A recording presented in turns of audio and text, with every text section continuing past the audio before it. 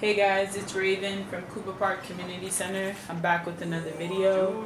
Um, today we're going to be making non-dairy ice cream out of strawberries, dates, and frozen bananas.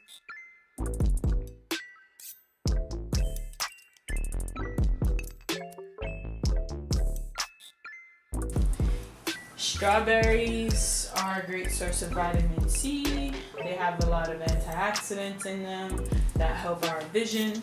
Uh, strawberries also help to reduce inflammation.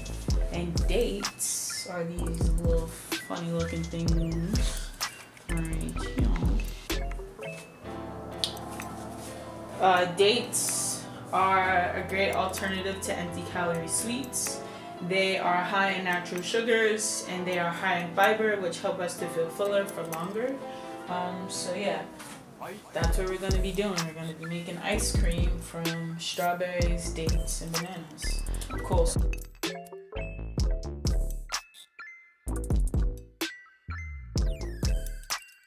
And add some more of everything.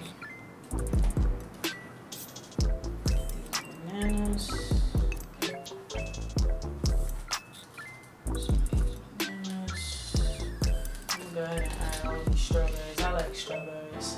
Hope this fits. Add some more dates. Dates. Dates. So now put top on that. Cool.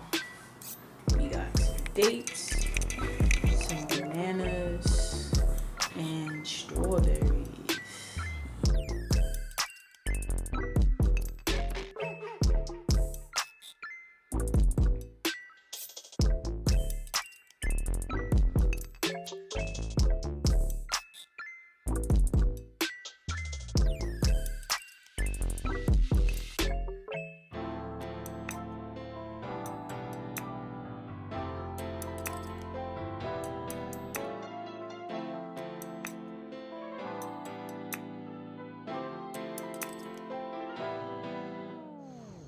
Fight.